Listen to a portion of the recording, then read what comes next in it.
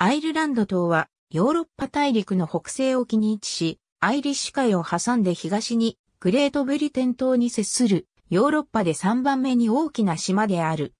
面積は84,412平方キロメートルで、北海道島に北方領土を足し合わせた面積にほぼ等しく、世界では20番目に大きな島である。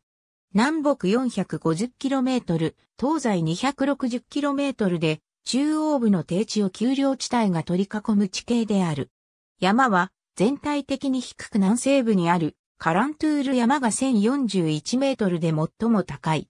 島内最長の河川シャノン川が北東から南西に流れ、無数の湖を有する。気候は西の大西洋を北上してきた北大西洋海流の影響で温暖である。古くはローマ人にヒベルニアと呼ばれていた。アイルランド英語ではエリンと呼ばれる。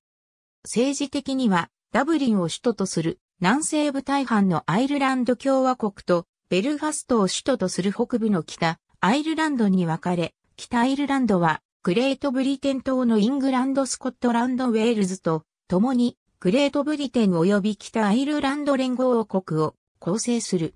アイルランド島は北のアルスター、東のレンスター、南のマンスター、西のこの音に大きく分かれる。ありがとうございます。